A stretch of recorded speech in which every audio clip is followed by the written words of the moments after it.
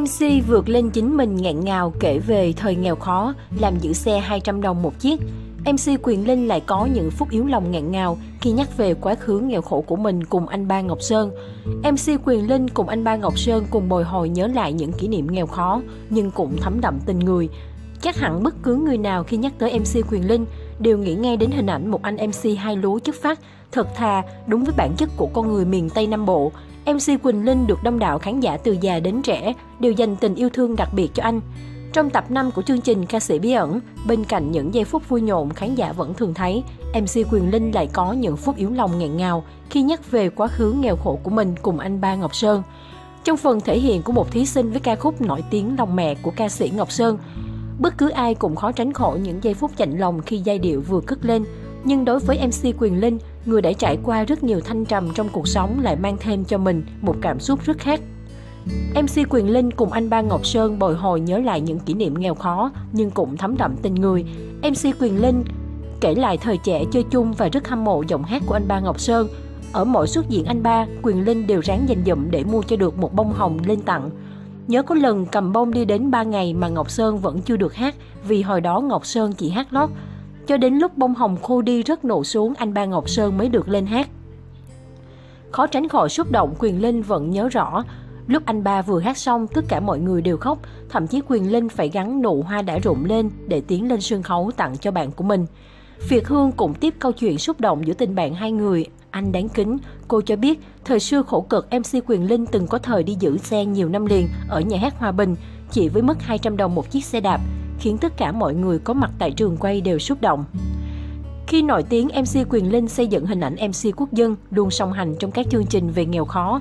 Với sự nỗ lực không ngừng của mình, cả hai người bạn Ngọc Sơn Quyền Linh giờ đây đã trở thành một trong những người nghệ sĩ luôn được khán giả mến mộ bởi tài năng và sự cống hiến không ngừng mệt mỏi.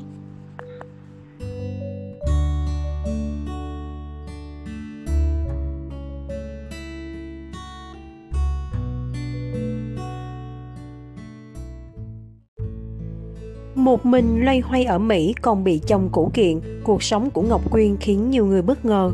Cụ siêu mẫu đình đám đang có những tháng ngày khá vất vả tại xứ sở cờ hoa, nhưng cô vẫn giữ sự lạc quan và vui vẻ. Khoảng giữa tháng 2 vừa qua, siêu mẫu Ngọc Quyên lâm vào cảnh đã khổ còn khổ hơn khi bị chồng cũ Richard Lê tố cáo cô bán mỹ phẩm kém chất lượng. Ngọc Quyên vốn đã ly hôn vào đầu năm 2018 sau nhiều cố gắng hàn gắn với bác sĩ Việt Kiều. Hiện cô sống cùng con trai tại California. Ngoài tiền trợ cấp của chồng cũ cho con trai, Ngọc Quyên có nguồn thu nhập chính từ công việc bán hàng online. Trước hành vi gây ảnh hưởng đến tên tuổi và uy tín của chồng cũ, Ngọc Quyên đã đưa ra những bằng chứng giấy tờ khẳng định sản phẩm của cô có nguồn gốc xuất xứ đàng hoàng. Bên cạnh đó, Ngọc Quyên cũng cho biết có thể chồng cũ cây cú vì phải chu cấp cho mẹ con cô 5.000 đô mỗi tháng nên đã nói xấu cô. Ngọc Quyên đang phải đối mặt với việc hầu tòa vì Richard Lê kiện cô mượn danh anh ta để buôn bán hàng rỗng. Tuy nhiên trước rắc rối này, người đẹp vô cùng vững tin và kiên cường, giống như cách mà cô phải loay hoay một mình để trải qua những khó khăn sau khi ly hôn. Ngọc Quyên ngày càng xinh đẹp quyến rũ dù vướng bê bối với chồng cũ. Từ khi kết hôn rồi sang nước ngoài định cư, nữ siêu mẫu sinh năm 1988 luôn tự lập và không sống dựa dẫm vào chồng. Cô cho biết sau khi sinh con 4 tháng, đã đi làm vất vả và suốt 3 năm qua, cô chăm chỉ làm việc để tạo dựng cuộc sống ổn định. Kể cả không có chồng nữa thì Ngọc Quyên vẫn sống tốt. Ở Mỹ, cụ siêu mẫu sống trong căn nhà và đi xe hơi do chồng cũ tình nguyện để lại cho mẹ con cô sau khi ly hôn. Hiện tại Ngọc Quyên đang quản lý ba shop mỹ phẩm tại Mỹ và cô mở thêm chi nhánh buôn bán tại Việt Nam. Cô thường xuyên đi về giữa hai nước để quản lý công việc và thăm nhà mẹ đẻ. Bên cạnh việc kinh doanh chăm sóc con trai, Ngọc Quyên cũng dành nhiều thời gian chăm sóc bản thân vì cô luôn muốn giữ được cơ thể khỏe đẹp và tinh thần lạc quan nhất. Bỏ hết sự nghiệp để sang Mỹ theo chồng rồi bị phản bội, Ngọc Quyên vẫn sống rất lạc quan dù phải đương đầu với nhiều khó khăn. Ngọc Quyên giành quyền nuôi con sau khi ly hôn, thỉnh thoảng cô tự thưởng cho bản thân những ngày nghỉ dưỡng sau chuỗi công việc áp lực hai mẹ con cô đến resort và đi spa để thư giãn cơ thể. Ngọc Quyên luôn tự tin đối diện với áp lực cuộc sống. So với nhiều phụ nữ sau ly hôn, Ngọc Quyên sống khá sang chảnh nhờ cô lao động chăm chỉ. Nữ siêu mẫu luôn nở nụ cười ấm áp mỗi ngày. Ngọc Quyên có sở thích leo núi ngắm hoa cỏ. Cô đưa con trai đến trường hàng ngày, dẫn con đến nông trại để thưởng thức sản phẩm sạch. Mẹ ruột qua thăm Ngọc Quyên mỗi năm vài lần nên cô cũng được an ủi hơn. Người đẹp chia sẻ nếu mẹ mất cô mới buồn, việc chia tay chồng không khiến cô suy nghĩ nhiều. Ngọc Quyên ngày càng đẹp mặn mà. Nhiều fan khuyên cô về Việt Nam tiếp tục sự nghiệp nhưng người đẹp chưa có ý định đó. Cô rất chăm chỉ đi chợ để thưởng thức trái cây của quê nhà. Người đẹp tự thưởng cho bản thân những món hàng hiệu yêu thích dù cô chia sẻ là sót tiền đứt ruột. Cô thích đi thăm thú đây đó để cảm thấy lòng an yên hơn. Mới đây người đẹp đưa mẹ và con trai sang Đài Loan chơi và đi chùa cầu phúc. Sự kiên cường đã giúp Ngọc Quyên sống tốt hơn. Năm 2014, Ngọc Quyên bỏ sự nghiệp để kết hôn với bác sĩ Việt Kiều chỉ sau một tháng tìm hiểu. Thời điểm đó Ngọc Quyên đang trên đỉnh cao danh vọng, có nhiều đại gia theo đuổi nhưng cô chỉ nghe theo tiếng gọi con tim. Sau này khi chuyện hôn nhân không còn hòa hợp và cô phát hiện chồng có phụ người phụ nữ khác, Ngọc Quyên mạnh mẽ tuyên bố tôi không chấp nhận mình ở nhà nuôi con, chồng đi với người khác. Nếu anh ấy có tình cảm mới thì phải giải thoát cho tôi chứ. Ngọc Quyên tâm sự hiện giờ cuộc sống của mẹ con cô khá bình yên. Cô đã không còn buồn và khóc nhiều như trước. Cụ người mẫu tập trung vào chăm sóc cho công việc, không còn đặt nặng vào chuyện tình cảm riêng tư.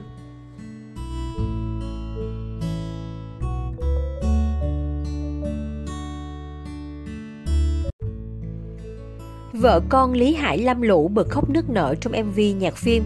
Tham gia vai diễn khách mời trong lật mặt 4 nhà có khách, Minh Hà và bé Cherry, con gái Lý Hải khiến người xem bất ngờ vì vẻ Lam Lũ nghèo khó, khác hẳn hình ảnh thường ngày.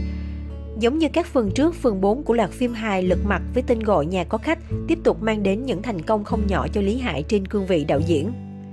Phim là câu chuyện của Vi cùng những người bạn cô mời về nhà sau một thời gian dài lên thành phố làm việc, chuyến đi không thực sự yên ổn. Khi bốn cậu bạn Thông, Phương, Bình và Huân đều phát hiện có những điều không bình thường ở căn nhà, như thể ngôi nhà này đang bị ma ám. Trong phim, bé Cherry, con gái Lý Hải cũng xuất hiện với tư cách diễn viên khách mời. Cô bé vào vai Vi khi nhỏ và chỉ xuất hiện trong những đoạn hồi tưởng về quá khứ của ba mẹ con. Đoạn phim này xuất hiện xen kẽ trong phim và đoạn cuối khi phim kết thúc. Ngoài nội dung phim, phần âm nhạc với ca khúc xuất hiện ở cuối tác phẩm Lật Mặt 4 cũng nhận được sự quan tâm lớn của khán giả. Bài hát về mẹ mang lên trong những phút cuối được đánh giá là chi tiết đắt khiến trái tim người xem rung lên đầy thổn thức. Ca khúc có tên Gánh mẹ do nhạc sĩ Quách Bim, một gương mặt gắn liền với những bài hát về tình mẫu tử đích thân biểu diễn. Anh cũng là người sáng tác ca khúc Đạo làm con từng gây bão trên các mạng xã hội cách đây 5 năm. Sau thành công ban đầu của bộ phim, ekip sản xuất tiếp tục tung ra MV ca nhạc nhạc phim với màn nhập vai xuất thần của bà xã Lý Hải và hai chị em bé Cherry. Tham gia bộ phim, Minh Hà bà xã Lý Hải cùng hai chị em bé Cherry diễn vai ba mẹ con gia đình Vi hồi trẻ. Phần lớn thời lượng MV là những cảnh không có trong hơn 100 phút trình chiếu của bộ phim. Vốn đã quen mặt khán giả với hình ảnh tươi trẻ năng động, khán giả sẽ thấy bất ngờ khi Minh Hà nhập vai bà mẹ một nắng hai sương khá ngọt. Vẻ khắc khổ từng tạo của vợ Lý Hải khiến nhiều người nhớ tới hình ảnh người phụ nữ phải một mình gồng gánh nuôi cả gia đình, Khoảnh khắc khiến nhiều người ấn tượng là khi ba mẹ con lạc nhau trong lúc chạy trốn. Mẹ La phải bế em Hoàng và chạy đi tìm chị Vi. Tìm được Vi, ba mẹ con ôm nhau òa khóc. Đặc biệt bé Cherry tưởng bị lạc thật nên khóc nức nở không kìm được. Cảnh quay khiến ba mẹ con òa khóc đầy chân thật, thu hút sự quan tâm của khán giả. Tôi thấy bé Cherry vừa thương mà vừa buồn cười, bé nhập vai hơn tôi tưởng, khóc vì lạc mẹ nên khóc quá trời khóc. Đến khi thấy mẹ rồi mà vẫn không ngừng khóc, lúc đó tôi đang diễn cũng bật khóc theo, Minh Hà chia sẻ. Ba mẹ con Minh Hà xuất hiện trong MV chỉ bằng biểu cảm không có lời thoại, nhưng chính diễn xuất chân thật và tình cảm kết hợp thêm ca từ gia diết từ bài gánh mẹ đã khiến người nghe xúc động. Thông qua MV gánh mẹ và diễn xuất ăn ý của vợ con Lý Hải, khán giả sẽ hiểu rõ hơn về giá trị thiêng liêng của tình mẫu tử được đan cài khéo léo trong từng thước phim.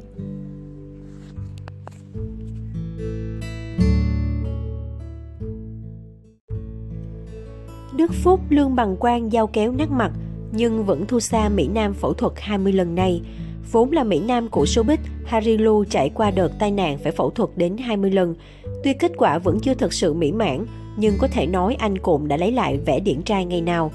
Nhắc đến Mỹ Nam của showbiz Việt, ngoài những cái tên đình đám như rocker Nguyễn Isaac Huỳnh Anh, thì không thể thiếu Harry Lu. Ngay từ thời điểm bước chân vào showbiz, anh chàng có dòng máu lai đài Việt, nhanh chóng gây ấn tượng với khán giả Việt bằng ngoại hình baby, gương mặt điển trai không góc chết. Không chỉ có nhan sắc điển trai, Harilo còn làm người mẫu và sở hữu khả năng diễn xuất vô cùng duyên dáng, góp mặt vào không ít những bộ phim dành cho giới trẻ. Tên tuổi của anh lên như diều gặp gió và chiếm được vị trí nhất định trong lòng công chúng. Harilu gây ấn tượng với khán giả nhờ khuôn mặt đẹp và body đúng chuẩn soái ca.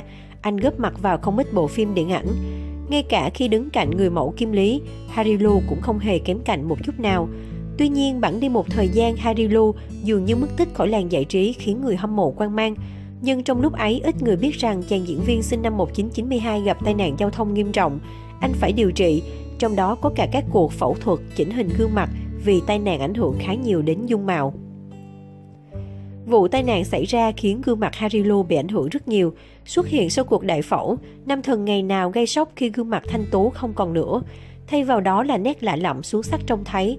Từ đây có nhiều ý kiến trái chiều cho rằng anh chàng đã can thiệp thẩm mỹ quá nhiều và là nạn nhân của thảm họa phẫu thuật thẩm mỹ. Tuy nhiên ít ai biết rằng để có diện mạo như thế, Harilu đã phải chịu đau đớn cả về thể xác lẫn tinh thần suốt một thời gian dài, miệt mài với 20 ca phẫu thuật để có được ngoại hình làm hài lòng người hâm mộ. Xuất hiện với khuôn mặt lạ lẫm, Harilu nhận về nhiều ý kiến trái chiều. Những ý kiến này cũng đã khiến Harry nhận không ít áp lực, có thời gian nam diễn viên còn không dám gặp quản lý và người thân. Sau cuộc tai nạn định mệnh vào tháng 2 2017, Harilu bị biến dạng toàn bộ khuôn mặt, anh bị gãy xương mũi, xương mắt sưng và lệch vị trí đã khiến nam diễn viên buộc phải tạm dừng công việc suốt hơn một năm. Trong thời gian đó, anh được gia đình đưa về Đài Loan để phẫu thuật chỉnh hình gương mặt. Trải qua 20 cuộc đại phẫu, mới có được gương mặt hài hòa trở lại. Dù phẫu thuật thành công nhưng gương mặt anh hiện tại cũng hoàn toàn khác so với trước đó. Trải qua 20 cuộc phẫu thuật, nam diễn viên sinh năm 1992 đã dần khiến khán giả hài lòng về diện mạo của mình. Bây giờ gương mặt của tôi đã hoàn thiện gần 90% và tôi hài lòng với vẻ ngoài hiện tại, anh nói. Trước những bình luận tiêu cực về nhan sắc của mình, Harilu cho hay sẽ chỉ tiếp thu những ý kiến mang tính xây dựng, còn không sẽ chỉ mức độ cập nhật và hiểu xem xung quanh mình mọi người nhận định về mình thế nào để hoàn thiện bản thân hơn.